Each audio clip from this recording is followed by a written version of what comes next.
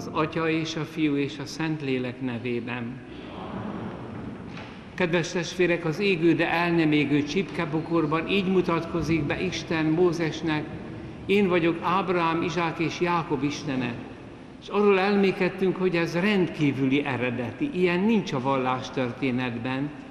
Tehát Isten nem egy területnek az Isten, hogy a pogányok elgondolták, nem az élet egy bizonyos dimenzióját uralják, mint Mars, a háborúkat, a Mars Isten mondjuk, hanem Ábrahám személyének, az én személyemnek az Istene, mert ő teremtett engem az ő képére, az ember abba, abban képe az Istennek, hogy valaki. Az állat az nem valaki, az valami. Ez jelenti, hogy személy. Ezért mindig együtt van. Bárhova megy Ábrahám, Isten vele van. És majd Jézus ezt teljesíti be, amikor azt mondja, én vagyok a szőlődő, ti a szőlővesző. Testvérek, hogy ezek után elérkezett az a pillanat, hogy egy kicsit gondolkodjunk el azon, hogy a mi hitünk, a mi vallásunk milyen eredeti, és egyetlen vallással sem lehet összekeverni. Itt van egy képlet, 16. Benedek pápa a Hit, Igazság és Tolerancia című könyvében, mert itt meg lehet kapni majd a folyosón, ezt a képletet hozza tudományos valláskutatók képlete. Kezdetben voltak az elszórt vallási élmények. Amióta az ember ember, azóta volt kapcsolata az Istennel, a túlvilággal. Mindegy, hogy milyen. Ahol emberi csontváz van, ott már van valami jele annak, hogy hit a túlvilágban.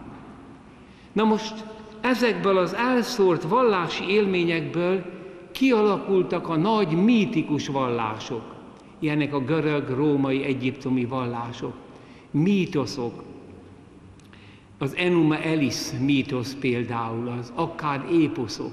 Elmondok egyet, talán múltkor is említettem, a Gilgames éposz. Gilgames az ember.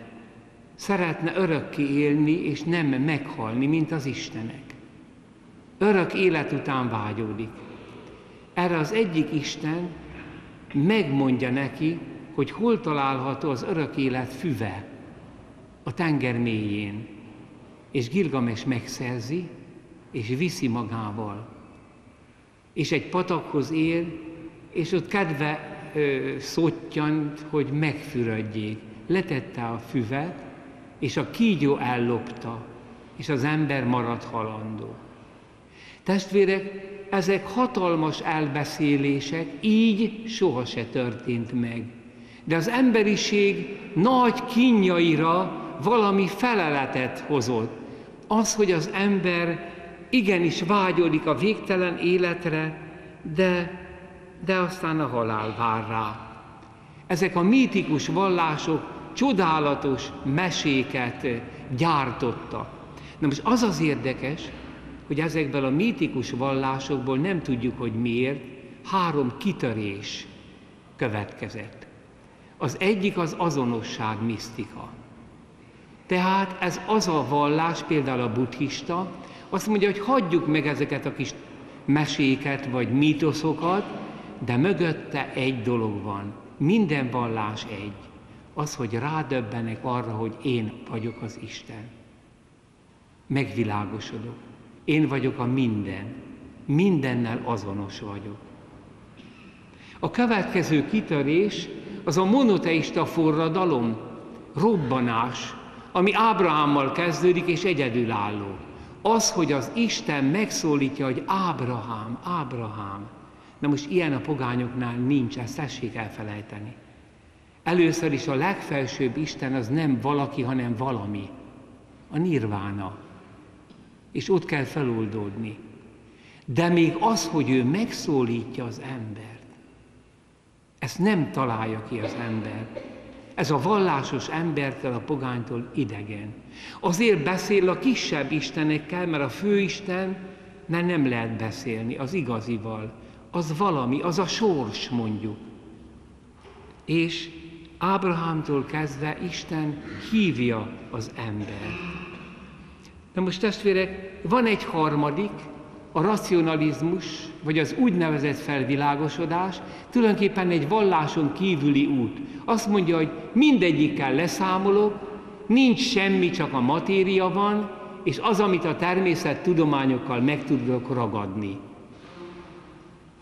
Ennek még nagy jövője lesz, ez most indult be igazán. Kezdődött a francia forradalommal vagy a reneszánszal. Az ókori racionalizmussal tudott beszélni az egyház, a nagy filozófusokkal. Itt azért máshol van szó. Na most ebben, és mind a három világfelfogás abszolút. Tehát mindegyik úgy tartja, hogy az övé az igaz, és nem lehet keverni. Tehát testvérek, az a fajta népbutítás, ami ma megy, hogy minden vallás egyforma, az egy nagy humbug, az egy hazugság. Ilyen nincsen. És hát, amikor azt olvassuk a apostolok cselekedetében, hogy nincs más név, amelyben üdvözülhetnénk, lehetne csak Jézus neve. Ez a kintieknek botrány, aki nem keresztény hogy hogy képzelitek ti ezt, miért sajátítjátok ki az üdvösséget. Az a baj, hogy már a bentieknek is néha botrány, és a bentiek is, az egyház tagja is már arról kezdenek ábrándozni, hogy egyeseknek Buddha mutatja meg az utat, nekünk Jézus, másoknak Laucetung, vagy Mohamed, vagy bárki, nagy vallás alapítók. Mert tulajdonképpen, és itt mondja Benedek, remekül elemzi. Miből indul ki a mai ember? abból, hogy valószínűleg mindenki üdvözül. Sőt, biztos. Hát erre azt mondja Benedikt pápász, hagyjuk a fölséges Istenre. Jó? Tehát, hogyha mindenki üdvözült, ebből kiindul, akkor olyan mindegy, hogy melyik valláshoz tartozom. De, de hát itt van az ellentmondás, hát az azonos vallás, az azonos misztikában, ott nem is az az üdvösség, mint nálunk. Ott az az üdvösség, hogy feloldódik az én tudatod, a nirvánában, nem pedig az, hogy átteleled Jézust. Nem egy énte kapcsolat.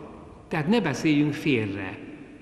Ha abból indulunk ki, hogy valószínűleg mindegyik üdvözül, mindenki, és hát mindegy, hogy milyen vallást követek, először is ez, ez egy ingyenes állítás, ezzel a módszerrel sohasem fogom megtudni, hogy mi a vallásoknak az eredetisége.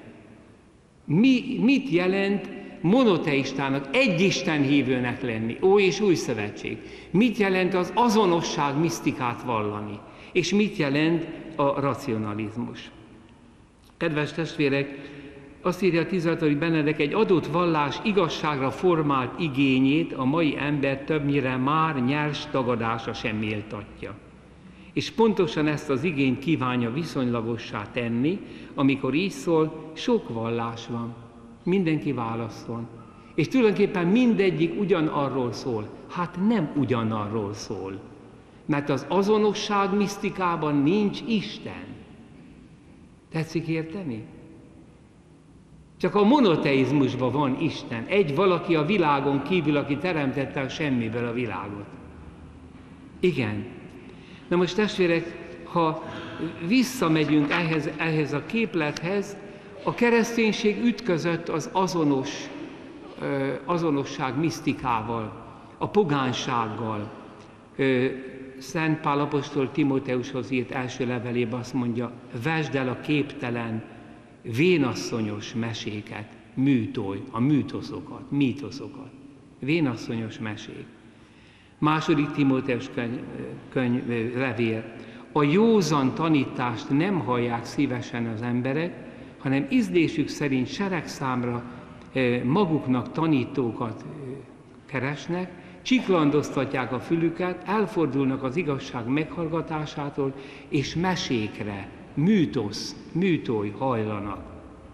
Péter apostol pedig második levelében azt mondja, hogy nem ravaszul kieszelt mítoszok, ilyen nagy elbeszélések alapján adtuk nektek hívül Urunk Jézus Krisztus csodálatos erejét, hanem mint megdicsőlésének szemtanúi, amikor Isten az Atya megtisztelte és megdicsőítette, ez a szózat hangzott le a hozzá a magasztos dicsőségből, ez az én szeretett fiam, őt hallgassátok. Kedves testvérek, a monoteista forradalom, vagyis Istennek az az írgalma, hogy szólt az emberhez, és a proféták által egészen Jézus Krisztusig hívta az ember, itt az üdvösség azt jelenti, hogy én, te, szeretet. Buddha azt mondja, hogy a gyűlölet is illúzió, látszat, és a szeretet is illúzió. Mind a kettőt el kell felejteni, mert te meg én azonosak vagyunk. Minden egy. Akkor most miért mondjuk azt, hogy minden vallás egyforma? Gyökerében nem egyforma. Aztán a racionalizmus pedig mind a két vallást tagadja, arra hivatkozva, hogy az emberi megismerés csak a világ dolgaira terjed ki, az anyagra és annak formáj, formációira. Igen, nehéz velük beszélni. Azért tudomásul kellene venni nekik, hogy csak az ember művel természettudományt. Tehát a humánumon belül van a természettudomány. Az ember pedig nem írható le természettudományjal, mert nincsen 5 kiló szeretet, meg 6 méter szabadság. Az ember kilóg a világ mindenségből. És ezt tudniuk kellene. Tehát persze ők abban az illúzióban élnek, hogy mindent a természettudományjal megoldanak, és el is tűrik ezt az azonosság vallást, mert az hasonlít az ő világképükhöz. Mind a kettő monista. Az azt jelenti, hogy monosz egy, hogy egy valóság van, ez az univerzum, és ebbe kevergünk. Ez maga az Istenség, ha tetszik, de te is az vagy, és minden az, minden Isten. Panteizmus. Igen, testvérek, azért itt nagyon lényeges különbségek vannak. Az megdöbbentő, hogy ez az újkori racionalizmus elfogadja, eltűri az azonosság misztikát. Szerintem még pénzeli is, hogy a kereszténységet bombázza szét. Buddhista, misszió, stb könnyen lehet. Azért, mert az ő világnézetük is tulajdonképpen ez. Ateista ember nincsen. Miért? Mert két perc múlva, hogy ő ateistának jelenti ki magát, már panteista. A világot fölruházza az isteni attribútumokkal. Ez a világ az anyag mindentudó, mindenható, örökkévaló, ez, a, ez az istenség. Ez nem ateizmus, hanem ez panteizmus. Az ateizmushoz hatalmas nagy emberi erő kell, annyi, hogy nincs annyi erőnk, elembertelenít. Belefáradnánk. Sartre mondja, hogy tíz évig küzdött azért, hogy ateista legyen. És nem sikerült neki, mert azt mondja, hogy minden véletlen. Hát akkor a véletlen az abszolútum. Hát hogy lehet a véletlen abszolútum? Tehát rögtön belekeveredik a panteizmusba. Testvérek, nagyon érdekes következményei vannak ennek. Például az, hogy a monoteista, az egyisten hívő vallásba a vallási ö, nagyok lehet, hogy nem is olyan nagyok, mint egy buddha vagy egy laucse. Azért Ábrahám itt-ott hazudott, nem beszélve Dávidról. Kivégeztette Becsabé férjét, hogy elvihesse azt az asszonyt. És hát kár szerecseny mozdatást készíteni, kár kimozdatni, mert akkor egy lényeges dolog mellett megyünk el, hogy mi nálunk az a fontos, hogy Isten megszólított és engedelmeskedek neki, Nincsen első kézből vallásos és második kézből. A nagy misztikusok ugyanúgy vallásosak, mint az a 7 éves gyerek, aki engedelmeskedik Jézusnak. Aki a szeretet törvényének betartja, és megszólítottnak tudja magát. Tehát nálunk nincsen első kézből és második kézből vallásos. A legnagyobb misztikus is csak annyiban val, tartozik a mi hitünkhöz, hogy engedelmeskedik az őt megszólító isteni szónak. Igen, testvérek, döntő felismerés még az, hogy a mi hitünk történelmi. Tehát az a Gilgames történet, az nem történet. A sose történt meg, de valamit elmond az emberről. Na most a, racionalizmus, az új globális etika hívei szeretnék a kereszténységet oda az azonos misztikába beszorítani. Azt mondva, hogy tudj, és akkor elfogadnak bennünket.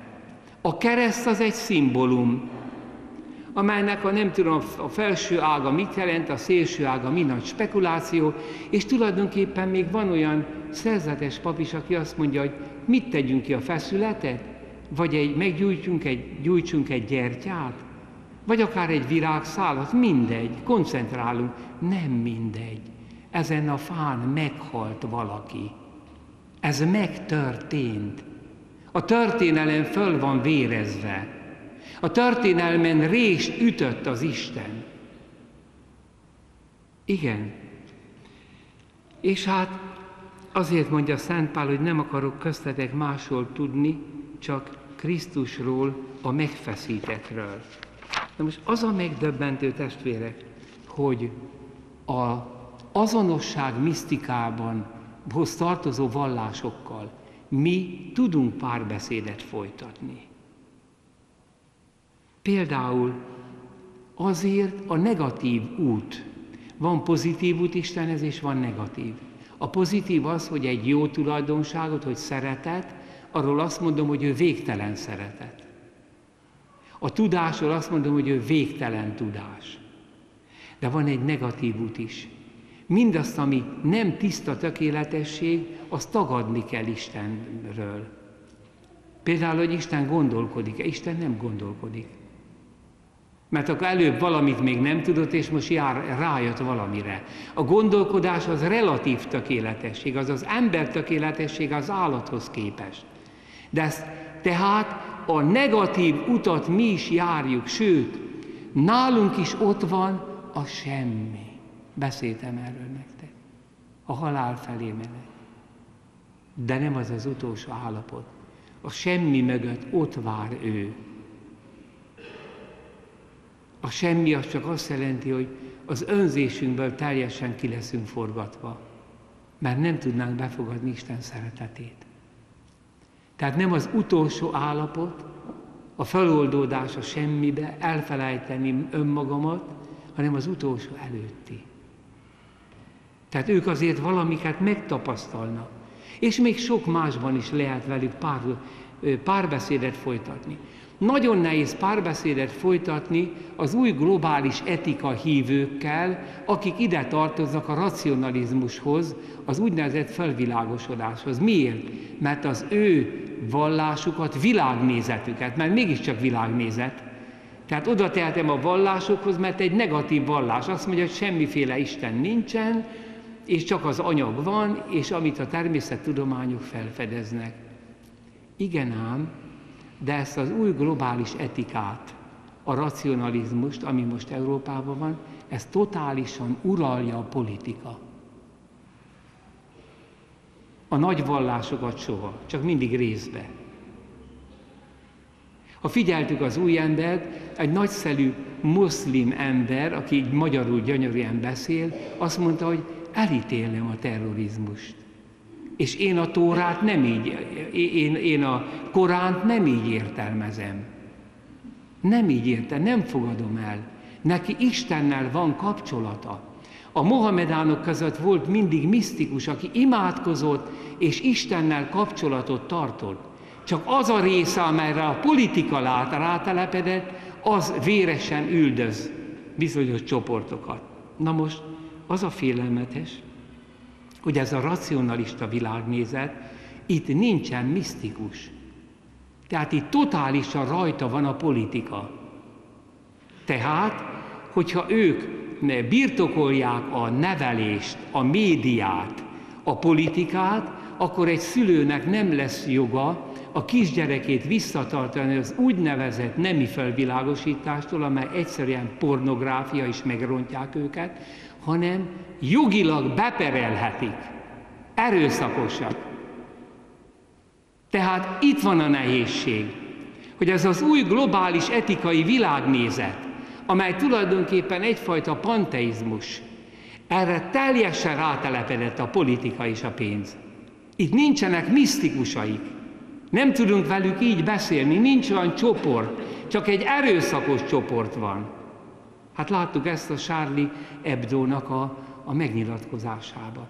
Ki ne ítélni el a terrorista cselekmény.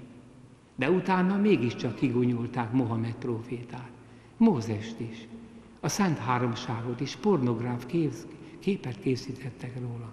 És ezt nekik szabad. Tehát testvérek, és rátelepedett már egy jogalkotás. Tehát itt nagyon észen kell lennünk. Tehát van egy dogmájuk, hogy az emberi szabadság végtelen. Ez persze nem igaz.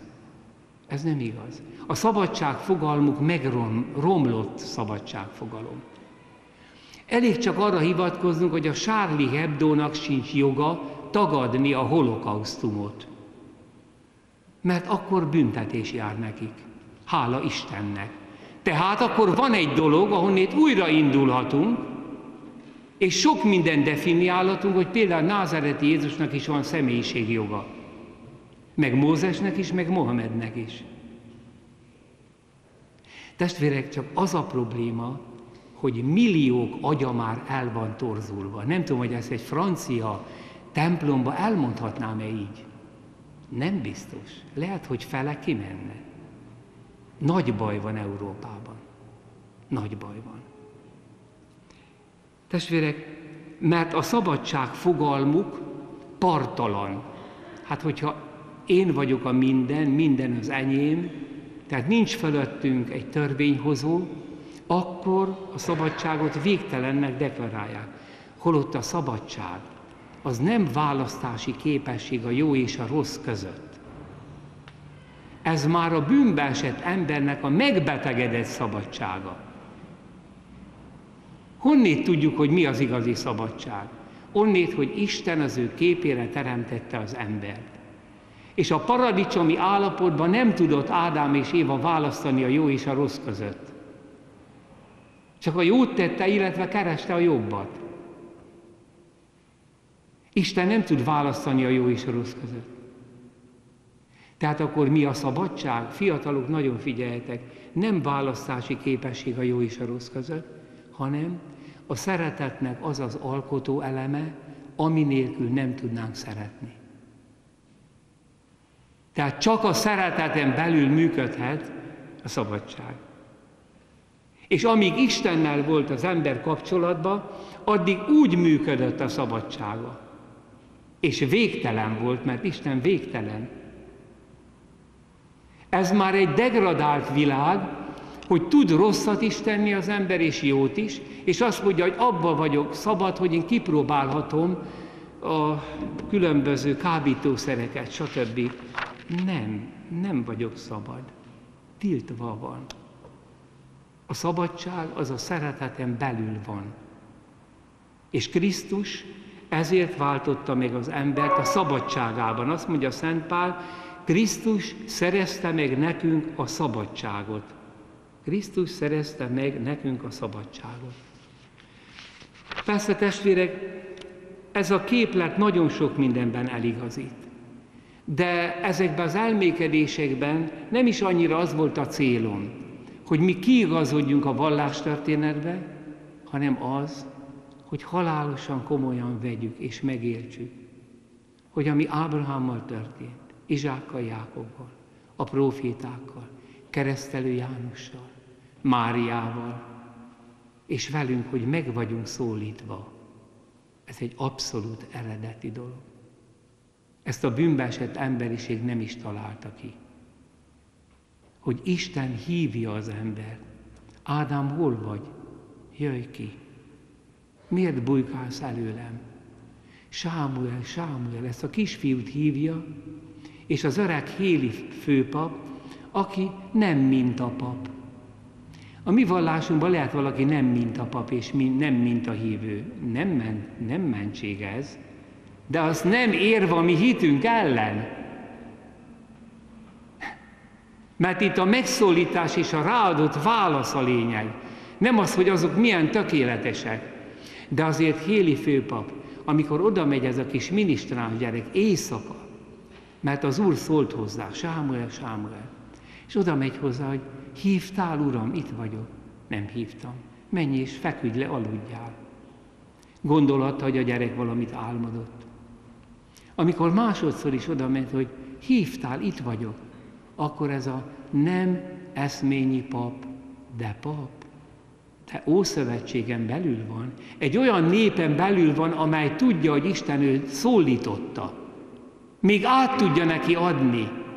Egy pici kis kisülés, egy, egy láncszem, ha még egyszer szól. Mondta, hogy szólj, Uram, mert hallgat a te szolgád. És akkor Isten egészen közel jön a kisfiúhoz, és azt mondja, Sámuel, Sámuel, szólj, Uram, hallgat a te szolgád. És itt kezdődik a profetizmus, ezen belül van Jeremiás, Ozeás, Ezekiel, Dániel és a 12 kis profit, ezen belül van keresztelő János, és ezen belül van Krisztus, aki már nem proféta, hanem maga a szó, az Isten üzenete, a második isteni személy emberré lett.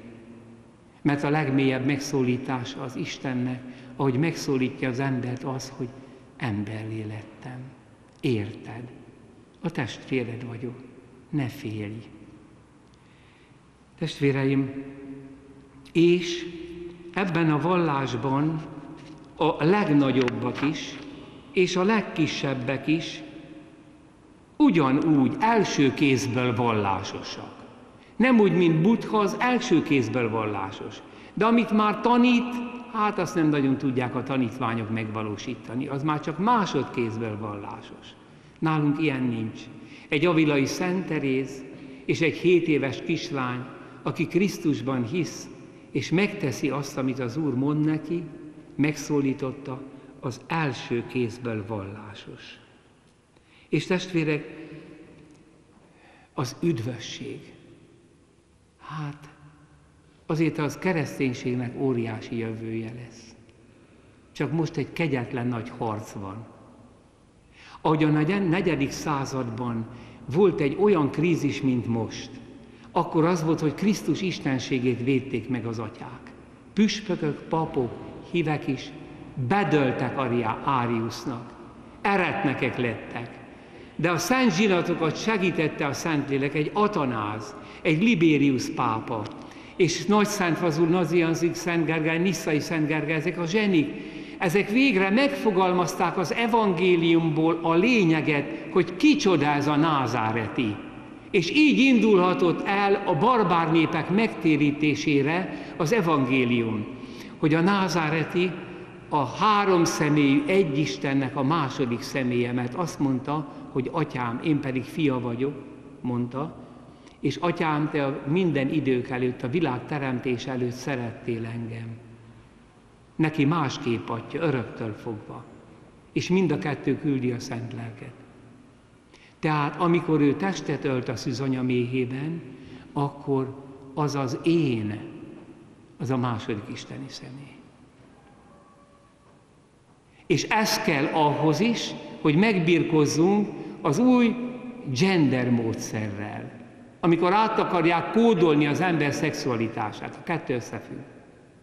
Nekünk van egy abszolút vonatkozásunk, az Isten fia. Annak se a püspökök, se a pápa nem áll fölötte. Azt írja Timóteusnak Pál, őrizd a hitletéteményt. Csak ezt őrizhetjük. És ugyanolyan nagy krízisbe vagyunk most, már Szent második János Pál pápa érezte, miről beszélt állandóan második János Pál? A családról, a férfiről, a nőről, a szerelemről, a hűségről. Szinte már azt mondtam, hogy egy pápának ezzel kell foglalkozni, igen, ő érezte, hogy mi van. De a végén a Dominus Jézus kezdetű enciklikát kiadta, amelyben leszögezik, hogy Jézus Krisztus az egyetlen üdvözítője minden embernek, akármilyen valláshoz tartozik. A kettő összefügg. Egyébként a monoteizmus az egy Isten hit, meg a monogámia is összefügg. Mert Isten úgy mutatkozik be, mint Izrael vőlegénye. És én sohasem törtem meg a házassági szövetséget, én mindig szerettelek téged, Izrael.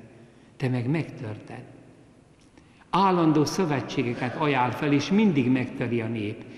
Ezért, mikor az utolsó vacsorához érkezünk, ott Jézus már új és örök szövetséget alapított, az nem lehet többet megtörni. Miért? Mert két fél között van szövetség. Isten és ember között. Na most az emberben megjelenik az Isten fia. És ő köt vérébe szövetséget az Istennel. És mi hozzá csatlakozhatunk. Ez az egyháznak az a szentsége, amelyen a pokol kapui nem vesznek erőt. Amen.